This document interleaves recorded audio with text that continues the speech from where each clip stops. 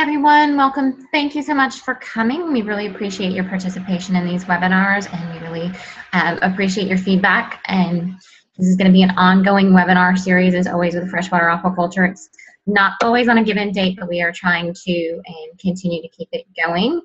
And if you give us feedback on what topics and what information you'd like to hear about, I can help and find um, speakers on those topics. Okay, so we have a couple things that are going on within the COP. We did just launch the um, article that corresponds to this webinar. Um, so you can go for that for more information and links to um, more information and videos. And um, to find out more information about the things going on in the freshwater aquaculture COP, you can go and like our um, Facebook page. That's where we do a lot of announcements, um, as well as for those of you who are with universities, if you have information and stuff that you can contribute, you are more than welcome to become a member of the group. And we also have a YouTube channel. I believe that is where these recordings are going to be going up to, as to now, so you can subscribe to that to get the updated recordings of these um, um, workshops and webinars. We have the Ask an Expert feature. If you go to askanextension.org, you can type in a question um, and it can go to any um, expert in the field, and those usually get answered within 20 to 48 hours. Um, and then there is also the webinar series, learn.extension.org. If you follow that, you will um, get all the updates and all the webinars going on through e-extension, not just the freshwater aquaculture COP. And I will be putting these links up in the chat. Um, you ready to put up Ben's? So I will stop sharing.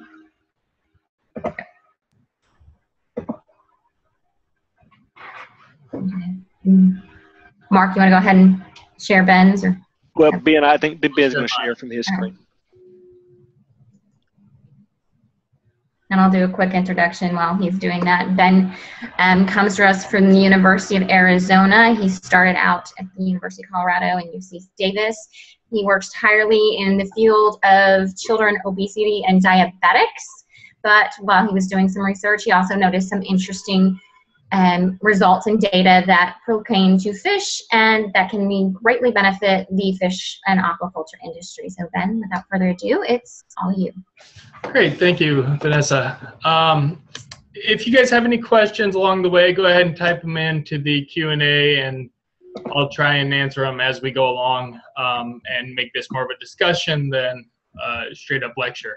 Uh, I'm going to talk to you a little bit about stuff we've done in tilapia, uh, oysters, and then very minimally in uh, shrimp. But what we think we've developed here is a tool that can help uh, producers um, identify uh, fish or oysters that are superior for growth. Before I get started, I need to thank a number of people, and it's always better to do this, I think, at the beginning, because at the end of the talk, uh, people have zoned out. Uh, Chris Langdon and Blaine Schoolfield, who works in his lab at Hatfield Marine Science Center, have been essential for all the oyster work we've done. Kevin Fitzsimmons has aided us in our tilapia work. And Ken Overturf, I'm going to present a couple of data slides that he put together uh, in trout. Uh, I've got the members of people in my lab, which uh, the main member who's worked on this is Kyle Kench um, but a number of other people have worked on it, and we've got a number of undergrads who are essential to this research as well. Uh, we've got our extension specialists, uh, both Gary Freitag and Vanessa have been involved with this. And then the industry partners without whom we couldn't do any of this uh, have been Desert Springs Tilapia and Tark-Rush there, and then Provon Crump and Roberto Quintana at Goose Point and Hawaiian Shellfish uh, LLC, respectively. And then finally, our funding, which is uh, through two sources, the Western Regional Aquaculture Center and a USDA NIFA Special Research Aquaculture Award. So the real issue, um, as I see it, uh, for aquaculturalists, and I'm not an aquaculturalist, but I've gained a good appreciation for what's happening uh, in aquaculture as I've done this research, is that selecting fish that grow quickly isn't necessarily identifying the fish that are genetically superior for growth. In fact, what you're most frequently selecting are the fish that get the most feed. And so you may be selecting for phagic drive or you may be selecting for aggression. And those two may not be separate. Um, we've all heard recently the term hangry, uh, combination of hungry and angry. And uh, there's a lot of problems associated uh, with aggression in fish. fish waste energy defending territory. They uh, the smaller fish spend energy avoiding aggressive fish. You have increased morbidity and mortality, and you have heterogeneity of growth within a tank where you have some very large fish and some very small fish. Um, and we've seen that both on the farm and in our small culture systems. But the industry does demand faster growing fish. And that can be seen through what Aqua Bounty has put into their uh, growth hormone overexpressing salmon and into what the USDA is funding right now, which um, one example of, of that research is uh, from my old postdoc lab, where they're trying to develop a catfish that has uh, a mutation in the melanocortin 4 receptor and therefore is hungry all the time. Uh, the idea being that mutating the melanocortin 4 receptor uh, would be more palatable to the public than growth hormone overexpression because it's not a hormone manipulation. But the consumer, I would argue, um, has a major problem with uh, these products. Uh, they don't want growth. They don't want GMO uh, plants, but they really don't want GMO animals. And in line with the consumer's unwillingness to accept this product, all of these retailers have said they won't carry the growth hormone overexpressing salmon. And the reason they have to say that is, is in part because uh, the consumer won't accept it, but also in part because uh, the store needs to maintain uh, sales of other products uh, within their store. And if they had growth hormone salmon uh, next to regular salmon, the fear would be that that people would um, possibly accidentally grab the uh, growth hormone overexpressing salmon and and GMO salmon, and that's just not something that the public's willing to accept. So our options to improve genetics are primarily limited to selective breeding. And selective breeding at the beginning uh, seemed to have some major issues uh, where mass selection for growth in Nile tilapia resulted in no improvement. So when they selected the largest tilapia and bred those, they didn't at all improve uh, growth. Now that that's improved quite a bit. We actually are able to select for growth now. However, the heritability remains fairly low, and uh, it's quite difficult still to select fish for growth. And here's one example of a group in France that selected uh, brown trout for growth, and they were actually very effective. They got a 21% increase um, in growth per year, but that was that came at a cost or a difficulty. They had to have a high number of breeders from which to select they needed to select uh, for in a group that had low non-genetic influences on growth. So they had to have a system that completely limited the, eliminated the effects of aggression, eliminated the uh, effects of feed availability, and uh, was very uh, responsive to only genetic effects. And then they needed to perform repeated growth challenges. So this isn't something that a producer could normally just pick up and do on their own. It requires a great deal of effort to select for those fish that are going to grow the most quickly. And in, especially in the tilapia industry, where a lot of people uh, raise their own brood stock, this would be quite difficult. So I'm going to take you to the very basics of energy expenditure and talk about how it works and how that can be translated from a pile of wood to a fish. If we look at oxygen consumption, um, oxygen is up here. It, it when wood's around and wood starts on fire and oxygen is present, uh, we get a fire, and when we have that fire, what is produced is carbon dioxide and heat. And this is no different from what you and I do with food. What we do is we consume food, we breathe in oxygen, we breathe out CO2, and we produce body heat. Well, in a fish, we've got that same thing. We've got oxygen plus a carbon fuel, which is the uh, pelleted feed, and the fish eats that, and the fish produces CO2. Now, the fish is a cold blood organism, so it doesn't produce a lot of heat, but it does produce some heat and it uses some of that dietary energy for maintenance. So maintaining cell membrane potentials and and turning over uh, DNA and protein and cells within the body. But a good deal of that dietary energy goes to growth. And so if we uh, were to move forward and identify fish that had a higher oxygen consumption, those fish would have increased CO2 release, but they'd have a small increase in maintenance and heat requirements, but a dramatic increase in growth. And in fact, 34% of oxygen consumption in red drum larvae has been shown to be directly tied to uh, protein accretion, which is protein uh, building or muscle mass building, and so growth.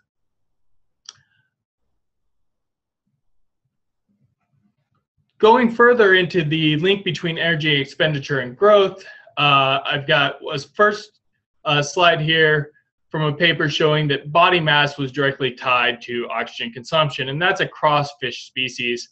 Uh, the more body mass you have, the more oxygen you consume because uh, you've got more cells and more body. But there are animals that have uh, energy consumption above this line, and so these animals with an energy consumption above this line are expending energy at a higher level for their body weight. And there's another group that of fish that does that. And I'm taking you back to the growth hormone overexpressing salmon because I think it's a beautiful model for uh, fast growth. And if we look here on the right panel, we have the um, in the triangles, we've got the oxygen consumption on the y-axis and the fish weight on the x-axis and you can see that oxygen consumption is fairly high um, relative to fish weight when you compare it to the dark circles, which are the non-transgenic fish on the opposite side. So at the same body weight, growth hormone overexpressing salmon, which are growing more quickly, expend more energy than non-growth hormone overexpressing fish. Well, let's take that principle forward. If we were to measure the metabolic rate of an embryonic fish, would we be able to predict growth? That was the question we set out with. And with embryonic fish, we avoid some big issues that we've seen in previous studies associated with uh, connecting metabolic rate to, to growth. One is almost all of our animals are going to have the same body size. So they'll be about the same size. They won't be eating anything. They will have zero food intake because they'll still be feeding on the yolk. And they'll have very very low activity um, because they are embryos and also we put them in a, a very small uh, volume of water for this measure because activity could increase energy expenditure that lack of activity is beneficial there is one potential problem there are is the potential for maternal effects and that that can be an issue um, but i think you'll see that that's less of an issue than previous studies may have proposed that it might be we also get the added benefit it, by selecting fish with a high metabolic rate or a low metabolic rate as uh, embryos. We don't have to invest in those fish beyond um, those first few days of life, and so we we limit our our investment in these animals. So the principle of the assay I developed is that as you metabolize or as a fish metabolizes glucose, lipid, and protein, they produce a compound called NADH2. And what we did is we incubated our fish with a compound called resazurin. Its trademark name is Alamar Blue. It's commercially available. When the Alamar Blue reacts with the NADH2, it gets reduced. And when it gets reduced, meaning we added two hydrogens to it, it becomes fluorescent and it changes color. It actually changes color from blue to pink. And you can see that here. In A, we've got three zebrafish in a well, and these three zebrafish were exposed to Alamar Blue uh, just immediately. We haven't allowed them to incubate with the Alamar Blue, so we took the picture immediately after um, putting them in the well. In B, we took the picture 24 hours later.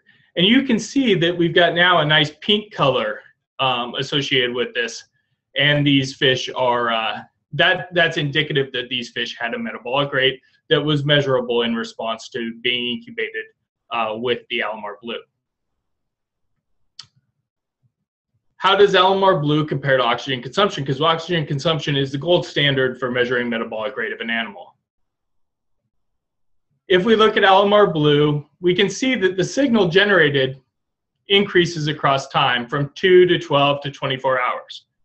When we use an open air oxygen consumption system, which is the only method that would be able to be used on a number of fish, we can see that oxygen consumption uh, can be measured for the first two hours, after which oxygen consumption levels off um, and the exchange of gas with the air, between the air and the water uh, equilibrates.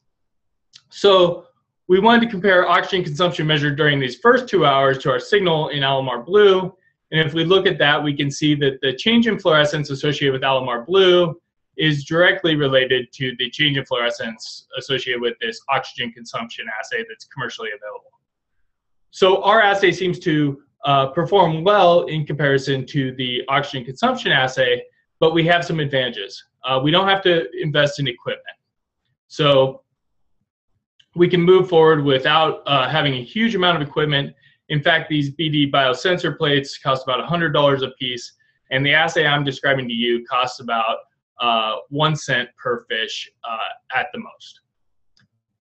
The assay can be performed in eggs, uh, so it's a cumulative signal. Because of the accumulation of the signal, uh, we can measure a small metabolic rate, and by allowing that signal to accumulate across time, we can see a, a large difference. And then we have the opportunity to measure energy expenditure in thousands of fish per day. Uh, within my lab, we'll measure energy expenditure uh, with about on about 2,500 fish per person per day. I'm going to take you back to that picture I showed you at first where we had uh, three fish and you can see they changed the color. What we did subsequently was we plated fish into 96 well plate and I've got an example of a 96 well plate here. It's about three inches by five inches um, in size and has 96 individual wells where you can have uh, one fish per well and you can measure the metabolic rate then of that fish individually. When we took the fish that had the highest metabolic rate and we reared them separately from the fish that had the lowest metabolic rate, and those are the top and bottom quartiles. Uh, so the top 26, 24 fish and the bottom 24 fish, and we reared those up. Uh, at one month, we can see that body length was higher in those fish that had a high metabolic rate than in fish that had a low metabolic rate. Now, zebrafish have determinate growth, uh, so we weren't able to continue these studies uh, out further. But this gave us some hope that, in fact, by measuring metabolic rate in zebrafish, we were able to predict how fast they grew. We wanted to apply this assay to tilapia, and here's just an example of a plate uh, filled with one tilapia per well, and it's that same 96 well plate, the three by five inch plate that I showed you earlier. And you can see here that we've got some fish that have an extremely high metabolic rate. This fish up here at the top that's bright pink. Uh, we've got other fish with a fairly high metabolic rate. Those are in purple. Then we've got some fish that just have a very low metabolic rate. Uh, that's in blue. And so we're able to segregate fish that produce a lot of NADH2 from fish that produce very little NADH2. When we looked at this assay in tilapia and looked across time, we can see that as time increased, so did the number of, uh, so did the amount of signal we generated. So one tilapia would generate some signal at four hours, more at 15, and yet more at 24. And if we compared the num how many fish we put in a well, now we had to use a bigger plate, a bigger well plate for this, um, because we were going to put more than one fish per well. But when we put in more fish within a well, we had a higher metabolic rate in that well. And that's a very simple test uh, to make sure that you are able to measure a change in metabolic rate. Just by increasing the number of animals, we increase the metabolic rate within that set volume. Now, Ken Overturf did some nice work for us uh, for uh, a project we're working on together in trout and showed that uh, one trout egg was able to induce a increase in fluorescent signal that was well above that seen in baseline over here on the on the uh, left. And that as he increased the number of trout eggs per well the signal increased. Now he used a much higher concentration of Alamar blue than what you've seen from my studies and that's uh, just a factor of we're working to make sure the cost is minimized so that this can be used in production aquaculture. Um, but you can see here, if he's got zero uh, eggs in the well, the top two wells over here on the upper left-hand corner, um, the water stayed blue. And as he increased the number of eggs from one to two to three to four to five, we got a further increase in color change from blue to pink. And so uh, this assay is working to measure metabolic rate um, increases associated with increasing the number of trout eggs per well. Now that's great, but the real key is does it predict the growth?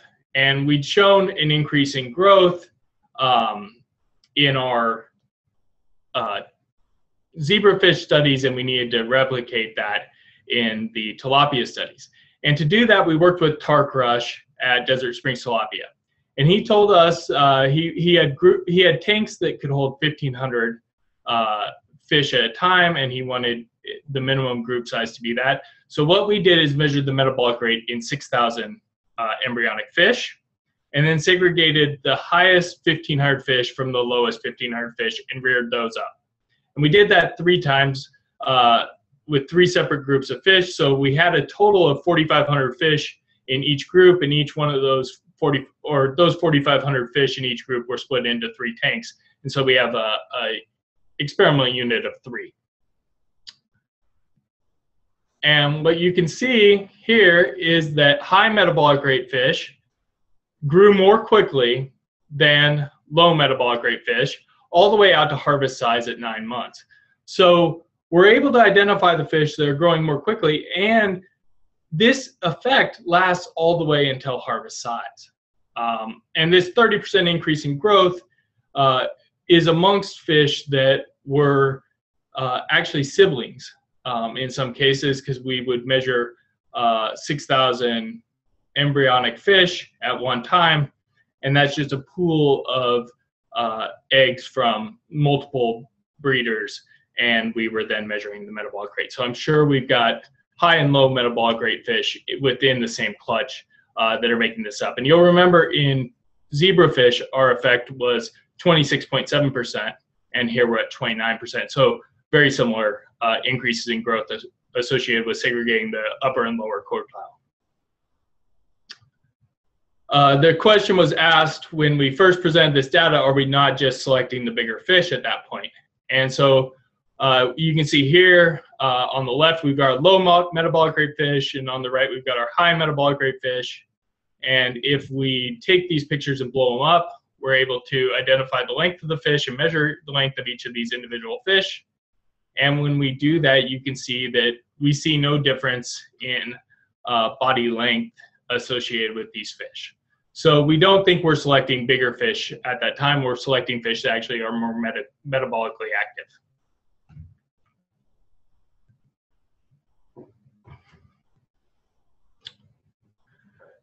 So the question is, can selection based on metabolic rate improve feed efficiency? Now, we weren't able to measure feed efficiency out at Desert Springs Tilapia. Uh, feed isn't weighed there. They use a volume measure. So we developed a system here at, at University of Arizona, and we've subsequently measured feed efficiency. And when we select the high metabolic rate group, we do improve feed efficiency relative to the low metabolic rate group. And so uh, what was shown with the improved growth was in fish that were fed the same amount of feed, um, but here we show that we actually have improved feed efficiency. Now, this is great, but you can't select every single fish on your farm. Could you select your brood stock? That's where you have the opportunity to make the most genetic uh, potential in gains. And so we first wanted to show you that there's sufficient variation to allow for selective improvement. And that can be seen here. If you look at the tail, the lower right-hand tail on your screen, you'll see that there's quite a number of fish that have a metabolic rate greater than or equal to two standard deviations away from the mean. So we think that by selecting these fish, you can make dramatic genetic improvements uh, in your fish fairly quickly. And in fact, we went on to compare brood stock selected by growth, which is how uh, Desert Springs tilapia was performing their uh, broodstock selection to broodstock selection based on metabolic rate. And when we do that, if we look first, here's the broodstock selected based on growth, which were selected by TARC. And here's the broodstock we selected and then returned to him uh, based on metabolic rate. If we compare the embryos and their metabolic rate, we can see that our embryos have a much higher metabolic rate than embryos that are select that are derived from fish uh, broodstock that were selected for growth. And since we've also already shown that metabolic rate uh, predicts growth rate, these these embryos are going to grow better. We went on to show that these embryos actually uh, have improved feed efficiency relative to the embryos that were selected for growth. Now, the feed efficiency um, is a little lower than ideal here because the fish were being overfed, but uh, metabolic rate selected embryos did have a higher feed efficiency than growth selected embryos. At this point, all we've talked about are selecting embryos, rearing them up, using them either as broodstock or as your feed fish. Um, but we needed to apply this to adults and possibly be able to select um, adults that were good for uh, broodstock. And, and this would be beneficial in wild caught broodstock or could be beneficial uh, in um, long species that take a long time to mature, such as sturgeon, where you wouldn't want to wait eight years to find out which broodstock were the best. So the first thing we did is we took a, a clip of the caudal fin. And when we take a clip of the caudal fin and we incubate it with the Alamar blue, the signal generated or the fluorescence generated increases with time. Then if we took multiple clips and we compared them, we, we changed their mass. So we have some clips that only weigh two milligrams and others that weigh eight milligrams. You can see that as the size of the explant or the fin clip increases, so does the fluorescence. This suggested to us that this was measuring metabolic rate of the fin. We then went to our broods, our fish that we had already selected to have a higher low metabolic rate. And we took fin clips from them. And what's surprising is those fish that had a high metabolic rate as embryos, their fin clips had a much lower metabolic rate compared to fin clips from fish that had a low metabolic rate as embryos. We, we don't have an explanation for this yet, but this does suggest to us that fin clips can be used to identify those fish that would be superior broodstock. And in fact, it would be those fish that have fin clips that have a low metabolic rate. Or, yeah, that have a low metabolic rate. At this point, we've shown you a bunch of fluorescence data, and not everybody has a fluorometer or is able to measure fluorescence. You can just measure, uh, you could, if you were selecting, uh, just look at for those wells that are pink or purple. Those are obviously your uh, fish or embryos with a high metabolic rate. Alternatively, uh, you can use red, green, blue analysis where you uh, scan over the well, find a place that doesn't have a shadow, and then measure the uh, red, green, blue spectrum there using uh, PowerPoint or any of those. And it will give you a number that's quantitative if you feel necessary. So to conclude our research in tilapia, we've got an assay that can predict growth and feed efficiency in tilapia. It can be used to identify superior broodstock, and the fin clips appear to allow us to select for uh, adults, and future work is going to move forward with that. We've also conducted some research in oysters, and I want to show you that real quickly.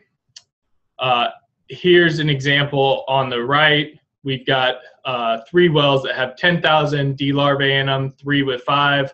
And you can see that as we increase the number of D larvae within a well, we increase the change in color from, per, from blue to pink.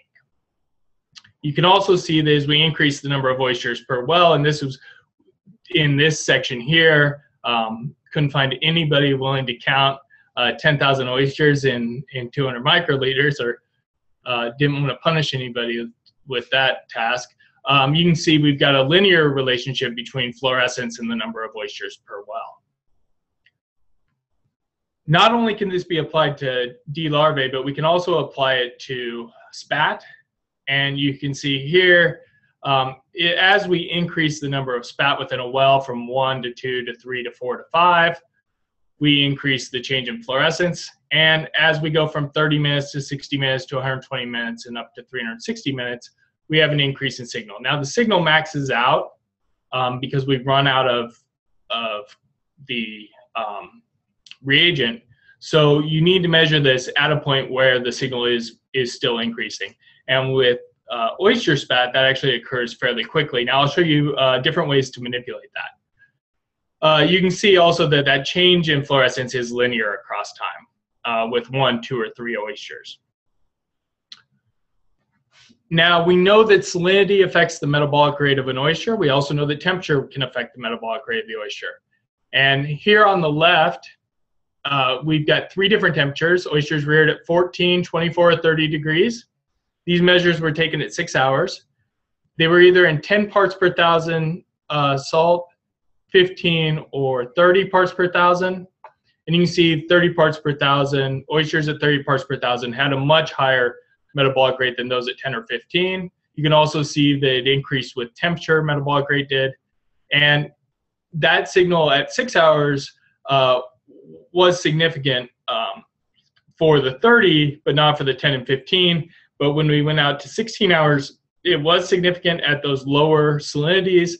And over here on the right, you can see a picture of the uh, actual plates that was taken at um, 16 hours. So down here on the bottom, we've got our plate that was maintained at 14 degrees. In the middle, the plate that was at, maintained at 24 degrees, and at the top, the plate that was maintained at 30 degrees. So the question is, can this be applied to predict growth? And to answer that question, the first thing we did was took uh, Chris Langdon's inbred and outbred lines. So he has uh, multiple inbred lines of oysters, uh, one of which is he calls Adam. And when, when you breed Adam to Adam, uh, you generate uh, fluorescence, change in fluorescence per egg of this. Uh, Eve to Eve is another inbred line, so when we breed Eve, Eve to Eve, it's further inbreeding. However, when we cross those and so do an outcross, we actually decrease the change in fluorescence per egg. Once again, suggesting that these oysters that we know are going to grow more quickly have a decreased metabolic rate um, relative to their inbred, slow growing uh, half sibs. We then went on to measure uh, metabolic rate within 24 families. And 24 families that were reared out at Hatfield Marine Science Center. And uh, within those families, we took, we measured the metabolic rate of 96 oysters and we took the highest 24 uh, and the lowest 24, so the upper and lower quartile. And once again, working in 96 well plates. Um, the first thing you'll see here is that our low metabolic rate oysters had a lower survival. This has to be interpreted with some caution because oysters that were dead would have a low metabolic rate. And so it's possible that some of the oysters we were selecting to have a low metabolic rate actually were already dead. And that is uh, somewhat of an issue, but I think it's something that we can accept if we're picking out the top 3,000 oysters um, that have the lowest metabolic rate, and we have a 60% death rate uh, or a 40% death rate, we understand that that probably most of that is due to the fact that we've we've selected some oysters that were dead during measure. But these low metabolic rate uh, oysters do tend to grow more quickly. They have an average weight that's greater than the high metabolic rate oysters, uh, or tends to be higher than the high metabolic rate oysters uh, after um, two months of rearing. So we reared these oysters from uh, about one and a half months of age to three and a half months of age. Um, we selected them at one and a half and, and then reared them out. And because of the increased survival, the total weight amongst our 24 oysters, which wasn't always 24 oysters at the at the conclusion, um, actually never was 24 oysters at the conclusion of the study, uh, was greater in our high metabolic rate group. But again, I'll remind you that the average weight is better in our low metabolic rate group, and we believe that the survival problems um, in the low metabolic rate group might be because of selection. So together, this data suggests the same thing that the data with the inbred oysters suggest, which is that low metabolic rate oysters have improved growth. To date, people are selecting oysters based on family crosses. And what our data is telling us is that this may not be the most efficient way to move forward with genetic selection for oysters. If we can identify individuals within a family that have a high metabolic rate, those are oysters that aren't going to perform well. And you can find those oysters even in these groups that have the lowest metabolic rate. Look at family nine, it's got a fairly low metabolic rate. Actually, it's the lowest metabolic rate, I think, of the group. If we chose this oyster to be one of our brood stock, however, we wouldn't get the benefit. We wouldn't get the maximal benefit of breeding from that family. Whereas if we were able to select one of the oysters that had the lowest metabolic rate, um, then we could improve that line of oysters uh, that much more. So we think that individual selection will lead to more rapid genetic improvements than family selection.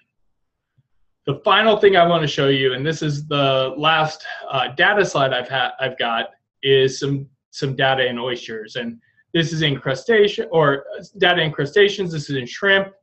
Um, if we increase the number of shrimp per well or adjust it from one to five, you can see that the signal increases as the number of shrimp per well increases and as time increases. So at one hour, we have some signal, at three hours more, and at six hours, we have even more signal.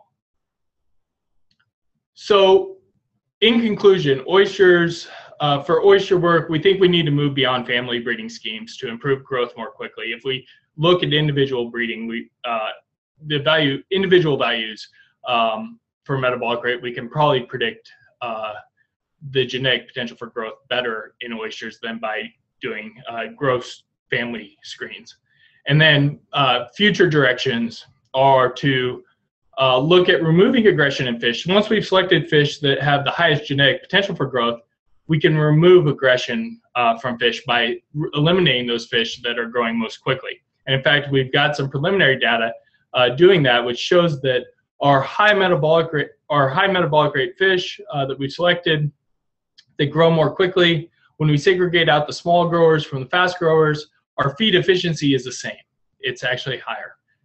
And if we look at application in marine fish species, and we were able to extend our findings uh, to shrimp, we're thinking a lot about the fin clip assay and extending that. And then the final thing is in warm water species like tilapia, metabolic rate is maintained at a high level because of the fact that the fish are in warm water and warm water drives metabolic rate, as we've shown with the oysters. We've also shown that with, uh, with the shrimp and, and with the tilapia. So we're thinking that this assay may even be more predictive and yield greater results for growth in those species that are reared in cold water. Once again, I want to acknowledge all of our collaborators that have helped, everybody from the lab who's helped, um, our extension industry partners, and our funding, which is through the Western Regional Aquaculture Center and the USDA NIFA. If you have any questions that don't get answered today, I'm happy to take those. Uh, you can send me an email. Feel free to call me. Once again, a video of the uh, of the assay being run can be viewed on my website. And uh, if you have any interest in, in applying this assay, uh, you can get a hold of Todd McCulley at our uh, tech launch here at University of Arizona. Thank you guys very much. Okay, questions, folks? Come on, uh, don't, don't be shy. Feel, feel free to ask in Q&A. I, I put a message in chat. We also have the ability to promote uh, viewers to panelists. So if you're doing research in this area, and maybe would like to share some of your own observations or would just rather talk and ask a question live rather than do it in chat or Q&A, please do it.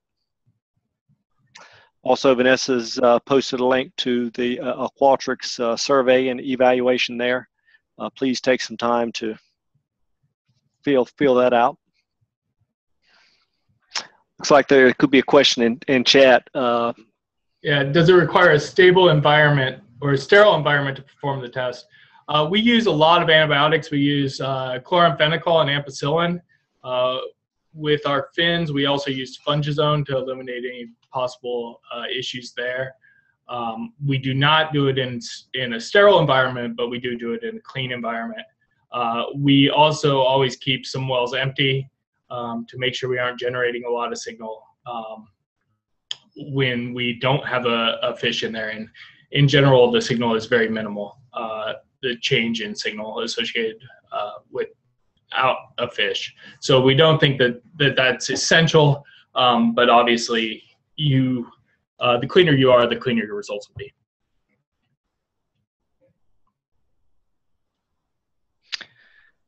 Uh, Kevin asked, you mentioned sturgeon, could it work for early growth even if you don't wait for adulthood?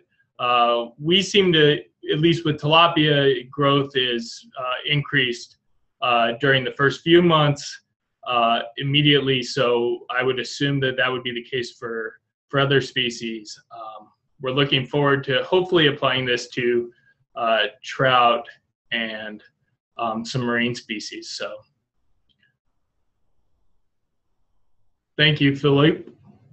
This has been published in Zebrafish, the journal. Um, and I know that there's actually a couple groups working with it right now using uh, insulin knockouts and other zebrafish models, and they're having a lot of luck with it. So uh, I think you'll see it come out more frequently for that. Ben uh, Gibson asked a question there in Q and A. Says, uh, "Have you seen a different effect based on tissue type on metabolic rate?" So the only two tissues that we have looked at where we've measured the metabolic rate of the tissue, um, and if I'm not answering the question correctly, just go ahead and, and ask it again um, are we've looked at skeletal muscle biopsies and we've looked at fins and we haven't compared uh, within the same fish and that would be something that we need to do. That's a good point. Um, we'll plan on taking another minute and uh, if we don't have any questions in the next minute then we'll plan on closing the webinar. No saltwater doesn't seem to affect the Alamar blue assay. Um, it worked extremely well at, at all salt concentrations uh, from 10 to 45 parts per thousand as well as in freshwater so. Yeah that's ronald brings up is it legal to sell adult fish if they've been exposed as babies to the fluorescent uh, chemical and uh, no it wouldn't be. That's why you would have to uh, we that would be a regulatory hurdle that we need to get past. Uh, however, if you're just using it to select your brood stock, that shouldn't be an issue at all. And that's why we've kind of progressed in that direction, um, brood stock selection. That, and we think you can make your biggest gains there in brood stock selection. And then, yeah, Gibson, uh, I think I did interpret your question correctly. And we don't have that data, and we do need to get that data where we take skeletal muscle biopsies and fin clips from the exact same fish and see if the same fish that have a, a low metabolic rate from the fin clip um, have a similarly low metabolic rate in the skeletal muscle, or what we're seeing is uh, a different uh, proportioning of energy where because those embryos that had a high metabolic rate then had a low metabolic rate of their fin clip, are they proportioning their muscle better towards or their energy expenditure better towards skeletal muscle for growth? And I think that's a, a great question, actually, one we've talked about in the lab a couple times. So, well, thank you guys. I really appreciate that.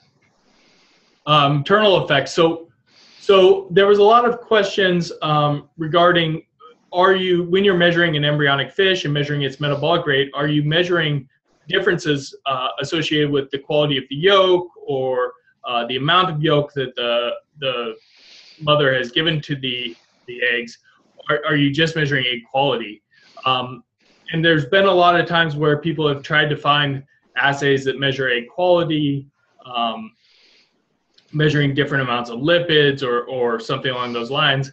But anybody who's, or just the size of the egg, and uh, any of those maternal effects seem to go away during the first part of life and, and wouldn't have lasted all the way out till harvest. So we don't think maternal effects are at least they aren't the driving factor behind what we're measuring.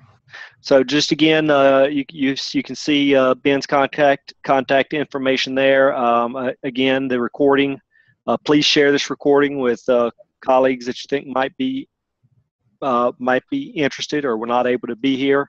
Um, again, the, the recording is available. Uh, Vanessa mentioned the YouTube site, site, and then also on the Learn page that I just put in chat. And if there is nothing else, uh, thanks, thanks everyone. We'll see you soon. Thank you. Bye bye.